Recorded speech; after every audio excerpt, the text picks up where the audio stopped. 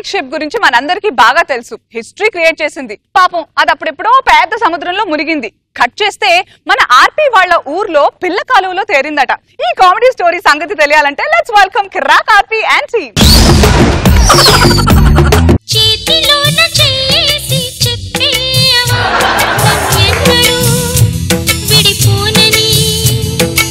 విషయం చెప్పాలి మీకు. చేతిలో చెయ్యేసి వచ్చేవా అనే సాంగ్తో వచ్చినావంటే మీ ఇద్దరం కలిసి ఏమన్నా ఆడదాన్ని లవ్ చేసినావా? లేకపోతే తేడాగా మీ ఇద్దరం లవ్ చేసుకున్నామని మీకు డౌట్ రావచ్చు. అదే వచ్చింది రావు చెంబులో ఉండేటువంటి నీళ్ళు కింద పడకూడదని స్లో సాగుతూ వచ్చినావు అంతే. నేనైతే చెంబుకి వెళ్తాను వేడికి వెళ్తున్నావా? నేను మాత్రం ఈ నీళ్ళు చల్లి ఇస్త్రీ చేయడానికి వెళ్తానా నేను జంబుకే నాతో చెంబుకి వచ్చే రేంజ్ నీదా? నీ చెంబులు ఏమన్నా పాలు ఉన్నాయంట్రా కాదు నీళ్ళు ఉన్నాయి నా దాంట్లో కూడా నీళ్ళే ఉన్నాయి. మనకి రేంజ్లు అవసరమా? రేంజ్ తెలుసా? జబర్దస్తులో. జబర్దస్తులో అందరూ మహేష్ బాబులో ఉంటావంట. మహేష్ బాబులా ఉంటావని ఉండరు. జబర్దస్త్ మహేష్ ఉంటేనే నువ్వు ఉంటావని ఉంటారు. ఒరే ఒక విషయం రా. నువ్వు నాకు హెల్ప్ చేయడానికి వచ్చావా? నా మీద కౌంటర్ వేయడానికి వచ్చినావా? నీ మీద కౌంటర్లు వేస్తేనే నీకు హెల్ప్ చేసినట్టు. నువ్వు ఈ రోజు జబర్దస్త్కి నా కోసం వచ్చినావు. ఎక్స్ట్రా జబర్దస్త్కి జబర్దస్త్కి మధ్య తేడాలు ఏమన్నా తెలిసిన నీకా? మీకు ఫీమేల్ యాంకరు మాకు మేల్ యాంకరు మేము నవ్విస్తే నవ్వుతారా. మీరు ఏడుస్తారేమో అనుకో నవ్వుతారు. మన ఊళ్ళో జరిగేటి ఏమైనా ఉన్నాయా ఏమన్నా? ఆ సుబ్బారావు గారు సూసైడ్ చేసుకున్నాడంట. మొన్న కదరా పెళ్ళింది కర్మే అందోడికి ఆ పెళ్ళే తంటాలు తెచ్చి పెట్టింది. ఏం చేసిందా? దాన్ని టచ్ చేస్తే వాడి పేరు తప్ప ఊర్లో ఉన్న అందరి పేర్లు కనబడుతుందంట అది. ఆ వీధి చివరి రత్తాలు లేదు. వాడు ఎవరితోనో లేచిపోయిందంట. వాడు భర్త చేయలేడా? లెటర్ రాశాడు. ఇంకెప్పుడు తిరిగి రావద్దని. అయ్యో అయినా వాళ్ళ ఆవిడ దగ్గరికి వీళ్ళ ఆవిడ దగ్గరికి కాదు. డైరెక్ట్గా మీ ఆవిడ దగ్గరికి వస్తున్నా. తప్పు తెగిపోతే. నా కాళ్ళ కొంద కూడా చెప్పులే చెకోడీలు కాదు. మీ ఆవిడ మ్యాటర్ ఏంటో చెప్తాను నేను. నిన్న. మీ ఆవిడ ఆ. ఆ పిఠాపురం గాడితో సినిమాకి వెళ్ళింది ఆ, నా తెలుసులే. తెలిసి కూడా ఎందుకు ఫాలో అవ్వలేదురా? ఆల్రెడీ ఆ సినిమా నేను చూసిన. యావిలా నేను అమ్మాయికి ఉండరు అందుకనే. నువ్వు ఇంత అమాయకుడు కాబట్టి ఇంతవరకు నీకు పిల్లల పుట్ల. అయ్యా పిల్లలు పుట్టడం కదా ఫ్యామిలీ ప్లానింగ్ లే. ఫ్యామిలీ ప్లానింగ్ అంటే ఒకరిద్దరు పుట్టాక చేసుకునేదిరా. ముందే చేసుకోర్రా. సర్లే కానీ నువ్వు ధైర్యవంతుడు కదా నీకెందుకు పిల్లకాయలు పుట్టలేదా దానికి వంద సార్లు చెప్పే వాంతులు చేసుకోమని చేసుకోదే. ఒరే చేసుకుంటే వచ్చేది కదా నువ్వు ఏదైనా చేస్తే వచ్చి. సర్పంచ్ వస్తున్నాడు. ఆ సరిగ్గా పని చేయటం రాదు. ఈడు సర్పంచ్ ఏంటో? ఏ సర్పంచ్ గారు ఏంటి గొడుగు నిండా బొక్కలు పెట్టుకున్నారు? వర్షం తగ్గిందో లేదో తెలియాలి కదా. అవును ఎగేసుకుని ఎమోషనల్గా ముందుకు వెళ్తున్నావా? యాడికి పోతున్నావు నువ్వా? మన ఊర్లో ప్రజలకి చాలా సమస్యలు ఉన్నాయట. అవునులే. ఆ సమస్యలు తీర్చడం కోసం సమర సంఘం పూరించడానికి వెళ్తున్నాను. సమర సంఘం విషయం పక్కన పెట్టి మూల సంఘం చూసుకో ముందు. పుచ్చు లేచిపోతే. ఒరేయ్ పుచ్చు లేచిపోద్ది అంటే పట్టించుకోరేంట్రా? నీ ఆవిడ లేచిపోయింది నువ్వు పట్టించుకున్నా ఆవిడేమి లేచిపోలేదు. నా డ్యూటీకి అడ్డం రాకూడదని తనే వెళ్ళిపోయింది. వెనకటి వాడు ఎవడో ఐస్ క్రీమ్ ఇస్తే ఫేస్ క్రీమ్ అనుకుని మొహానికి రాసుకున్నాడంట. తెల్లబడ్డా ఎరుపు ఎప్పుడు తెలుపు అవదరా ఎరు గురుగారు ఎలక్షన్స్ దగ్గర పడ్డాయి కదా. నువ్వు కొంచెం ఇతర పని చూసుకోవచ్చు కదా అక్కడ. అబ్బో ఎలక్షన్ అంటే గుర్తొచ్చే. ఇప్పుడు నేను గెలవాలంటే ఏం చేయాలంటావు? నువ్వు పని మనిషికి ఇచ్చే హామీలో సగం ఊరోళ్ళకి ఇచ్చినా చాలు. పంచెత్తడం కాదు ఎడిటింగ్లో నీ పంచులు ఎత్తేస్తున్నారు చూసుకోపో. యారా? ఈ ఆడోళ్ళు పొద్దున్న ముగ్గెందుకు వేస్తారా? రాత్రి మొగుడుతో కలిసి ఒక పెగ్గేస్తారు ఆ తాగింది దిగడానికి పొద్దున్నే లేచి ముగ్గేస్తారు. ఒరేయ్ అడ జరుగు. ఇదేదో కొంచెం ముగ్గులా ఉన్నదా? నాకు కూడా అలాగే ఉంది. ఇది ముగ్గే మూడు చుక్కల ముగ్గు. మరేమో. ఇది మా ఆయన. ఇది నేను. ఇది మా పిల్లోడు. అదే అందే మూడు చుక్క ఇక్కడ పెట్టి దూరంగా ఒక చుక్క ఉంది ఏంటది? వాళ్ళ ఆయన దుబాయ్ వెళ్ళాడు కదా. అది అప్పుడప్పుడు వచ్చిపోయే తోక చుక్క. ఆకాశం ముగ్గేసింది. ఆకాశం ముగ్గు అంటే ఎన్ని చుక్కలైనా రావచ్చు పోవచ్చు. మమ్మల్ని చేస్తారా? ఇలాంటి ఎన్ని తట్టుకుంటే ఈ స్టేజ్కి వచ్చాం.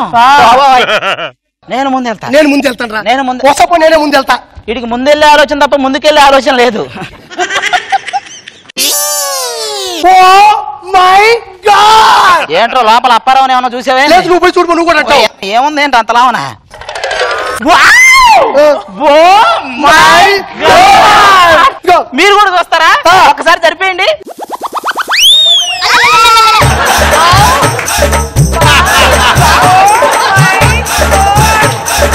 మా ఊరికి టైటానిక్ వచ్చింది. మా ఊర్లో దొక్కుకి టానిక్ తెలుసు టైటానిక్ వచ్చింది! ఎందుకురా? ఉయ్యన్నాగా ఊసే. ఒరే దీన్ని చూస్తే ఏమో ఏమనిపిస్తుంది తెలుసా? అది పొలంలో కాకులు కొంగలు వాలకుండా దిష్టి బొమ్మను పెడతారు కదా.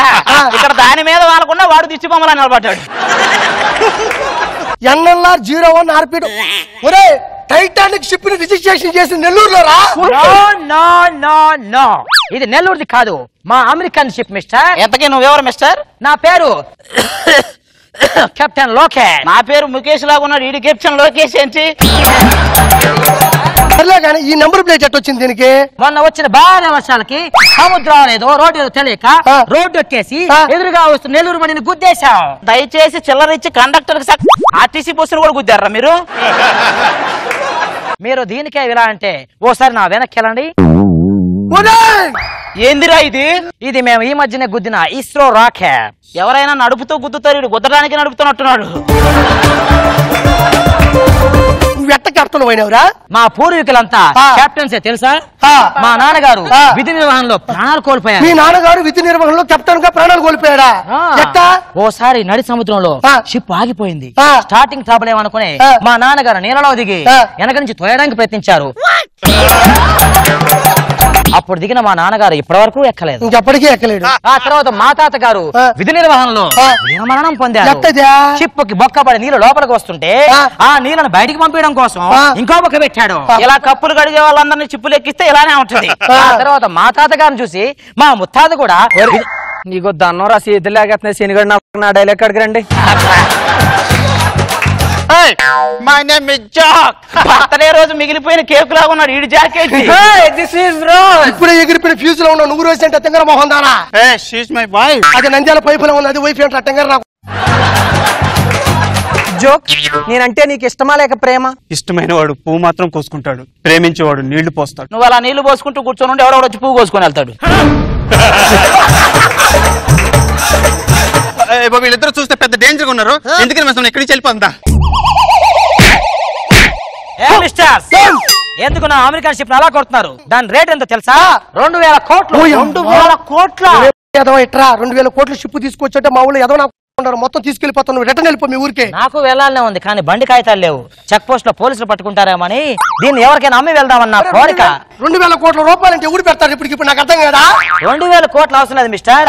నా ఖర్చులకి నలభై లక్షలు ఇచ్చినా చాలు. నలభై లక్షలు. నలభై లక్షలు అంటే ఇదిగో. ముప్పై ఎనిమిది ఇది రెండు. ఆ, ఓకే. నాది రెండు నేను ముప్పై ఎనిమిది. మా పొలాలు మొత్తం రాసి నలభై లక్షలు తీసుకుపో. అబ్బాయిలు ఏంట్రా గెంతుల్లో? అబ్బాయిలు ఏంట్రా కొట్టా అంటే నువ్వు సర్పంచ్ ఎమ్మెల్యేని కూడా కాగలను ఈ రోజు. నేను సర్పంచ్ రా కొంత మర్యాద టైటానిక్ షిప్పే మాదైందిరా నువ్వు సర్పంచ్ అయితే నా పంచాయతీ ఏంటి టైటానిక్ చెప్పా ఆ. ఒరే మెంటల్. జాతరలో పిల్లలు ఆడుకుంటారని డమ్మీ షిప్ తెప్పించి పెట్టాను ఇక్కడ.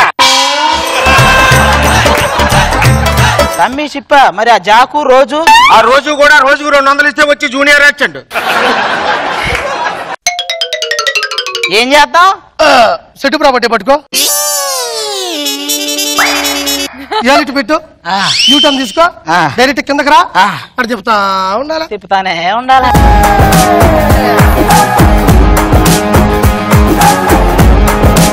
ఎలా ఉంది రోజా గారి స్కిట్ బాగుంది. చాలా ఫన్నీగా అనిపించింది. నాగబాబు గారు. బాగుంది స్కిట్? ఫినిషింగ్ కూడా బాగానే ఉంది. గుడ్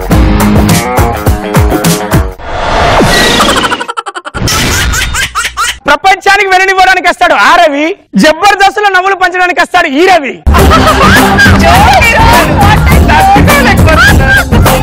రోజా గారు మీరు నా గురించి చెప్పండి ఒకసారి. నీ పర్ఫార్మెన్స్ చూసి మంచి ఆర్టిస్ట్ అనుకున్నా నిన్ను టీం లీడర్ చేసి నన్ను సావ దొబ్బుతున్నారు ఈ డైరెక్ట్ టీం రోజా గారి ఇన్నర్ ఫీలింగ్ బయటకు వచ్చేసాయి. ఏంటది? రవి ఎందుకురా నువ్వు నా కడుపున పుట్టలేదు? రోజు నేను నిన్ను దత్తత తీసుకుందాం అనుకున్నాను. ఎంతో ప్రేమగా కానీ అప్పటికే బాబు గారు దత్తత తీసుకున్నారని కానీ నా కొడుకును మాత్రం నీ అంతటి వాడిని చేస్తాను. నీలా మేధావిలా తీర్చిదిద్దుతాను. చందమామ రావే జాబిల్లి రావే కొండెక్కి రావే కోగు పూలు తేవే. ఎందుకు పిలిచేవే? మొన్నటికి మొన్న రోజా మేడం వాళ్ళ అబ్బాయికి అన్నం తినిపిస్తూ చందమామ రావే అని పిలిచారు. వాళ్ళ అబ్బాయి అన్నం తినకపోవడానికి నేను రావడానికి ఏంటి సంబంధం చెప్పు. పోనీ పిలిస్తే పిలిచారు. మామూలుగా రమ్మన్నారా? లేదు రూట్ మ్యాప్. కొండెక్కిరా బండెక్కిరా లోయలోకి వెళ్ళు నన్ను చూడడానికి చాలా మంది మహారాజులు వచ్చారనుకున్నాను. మీ ఇద్దరు వచ్చారా? ఇద్దరం వచ్చాం. అతి మేధావి జబర్దస్తులనే కింగ్ మన రచ్చరవి మహారాజు రాలేదా? ఆయన స్వయంవరంకి వస్తున్నారన్న విషయం రోజా మహారాణి గారికి తెలిసింది. అవునా? వెంటనే ఎర్రగడ్డలో ఉన్న సైన్యాన్ని అప్రమత్తం చేశారు. మన దేశంలో గుండెపోటు మగవాళ్ళకే వస్తుంది కానీ ఆడవాళ్ళకి ఎందుకు రావట్లేదు? పెళ్ళి పందిట్లో ఆడది ఎక్కడ కూర్చుంటుంది నాయన? మొగుడికి ఎడం పక్క కూర్చుంటుంది. గుండెకాయ ఎక్కడుంటుంది నాయన. ఎడం పక్కే ఉంటుంది. అంత పెద్ద బాణం వచ్చి గుండెకాయ మీద పడితే గుండెకాయ బరువెక్కక ఏమవుతుంది నాయన? కొత్తగా పెళ్ళైన ఆడదానికి చీరైనా మొగుడైనా ఒకటే నాయన. ఎందుకో చెప్పు. ఎలా బేతాలా? రెండు కట్టుకున్నాకే ఉతుకుతుంది నాయన. నీ వదిలిపోయి నాలుగు సంవత్సరాలైంది డేవిడ్ అప్పటి నుంచి ఒంటి చేత్తో ఈ చేత్తో అన్ని పనులు చేస్తున్నారు. కొన్ని సొంత పనులు ఈ చేత్తో చేసుకుంటున్నా. మా అన్న ఎంత అదృష్టవంతుడు? అప్పుడే వదిలిపోయిందా? మాకెప్పుడు వస్తుంది అదృష్టం? ఇప్పటివరకు నేను ఇల్లు కట్టలేదు కానీ రోజా గారి మీద పాట కట్టాను. బిస్కెట్లేగా కానివ్వండి. సంగీత సముద్రంలో మునుగుదాము తేల్దాం అంటే నాతో పాటు పోటీ పడే వ్యక్తులు ఇంతవరకు నాకు గడపలేదు ఈ సముద్రంలో నన్ను దాటే పిచ్చివాడే లేడా? రవిగాడు ఉన్నాడు.